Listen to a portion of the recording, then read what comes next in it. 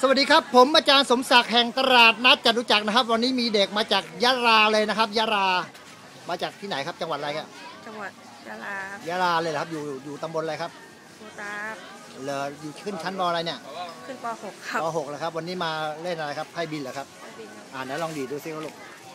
พอได้ไหมอ่าลองดูเลยครับใจเย็น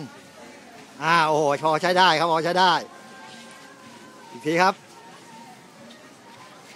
มาเป็นไงรู้สึกยากไหมนิดนึงครับนิดหนึ่งนะครับแล้วอ้าวสวัสดีผู้ชมก่อน สวัสดีครับ